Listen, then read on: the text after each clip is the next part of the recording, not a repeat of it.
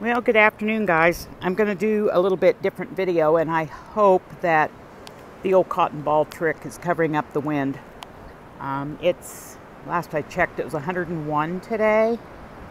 The wind is blowing, they say, sustained winds of uh, 30 to 40 mile an hour with the gusts up over 60. So, but the reason I'm doing this video is to show you how to put up um, an Ozark Trail uh, pole tent. We got our tent out of storage and are ready to sell it. And so I wanted to get pictures and I couldn't remember, we couldn't remember how to put it together or how to put it up. We spent over two hours Googling, YouTubing, anything we could to figure this out.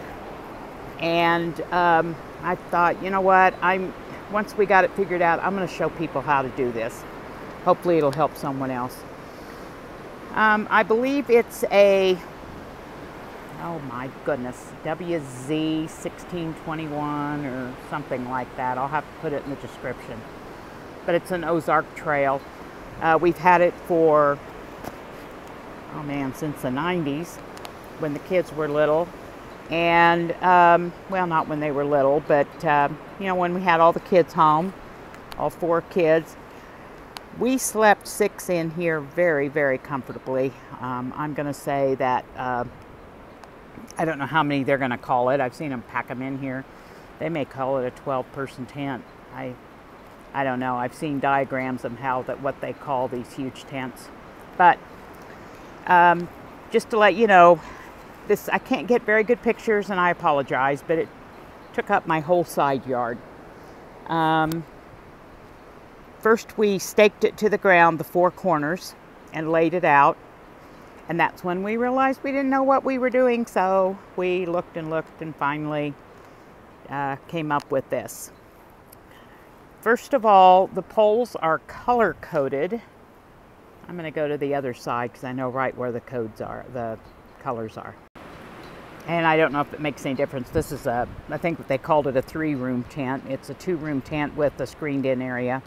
The screened in part doesn't have a floor. Made it just a little bit more confusing for us, but didn't take long to figure it out. Anyway, the poles are color coded. And we'll go up here and I'll show you.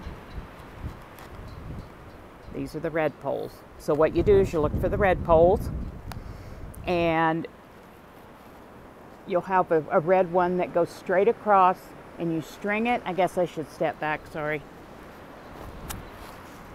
You can see where we ran that straight pole through there and hooked it into the red poles. Then um, came down the side here. And when you get to the bottom of the red poles, it has this little flip up thing, which uh, that's the bottom piece it hooks on and you could slide it up and down and latch it with that thing. So while I held on to this, um, the old farmer, he got the blue poles. And the blue poles go on either end. You do the same thing. You run it through here, hook it in, and then put all your blue poles together and set it up just like that. So then I hung on to the red poles and this one. And um, he did the same thing on this side with the other set of blue poles. And you can see where they come together. And yeah, these strings, you can tie them on. But um, just to let you know, we did this in 15 minutes, just the two of us, um, in this wind. Yes, it's protected because we put it on one end of the house and we have a fence around it. But there's still pretty good wind whipping through here. You can see that. And I'll just show you the inside. The reason we put it up, we took it out of storage. We wanted to put it up so I could post pictures. I'm going to sell it.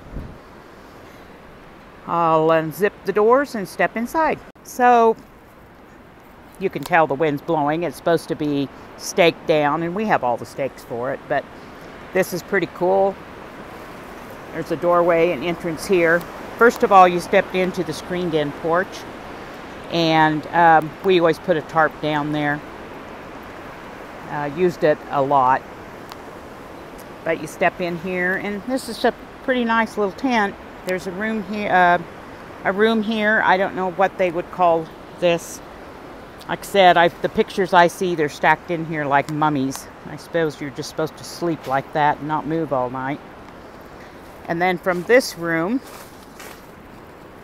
it steps into the doors can be zippered shut. The main room, the big room. And um, you can see the wind's whipping it pretty good, but it's holding down. And this is exactly one half of the tent. I think this tent is 15 by 11 or 12, something like that. And it has a fly thing on it. What do they call that? A rain fly. Got for holding lights or whatever you want to hold in it. But it's a really, really nice tent.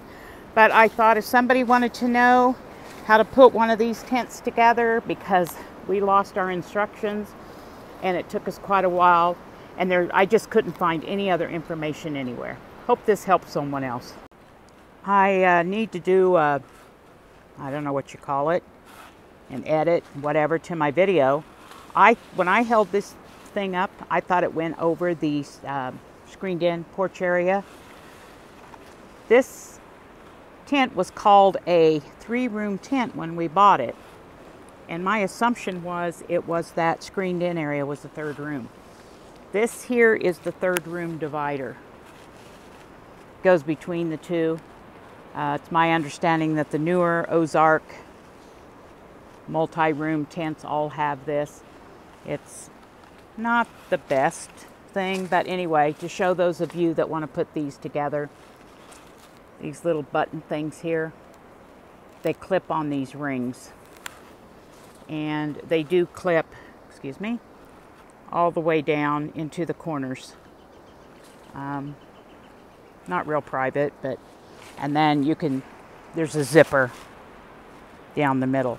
It makes this room over here the same size as the room off to the side of the screened room.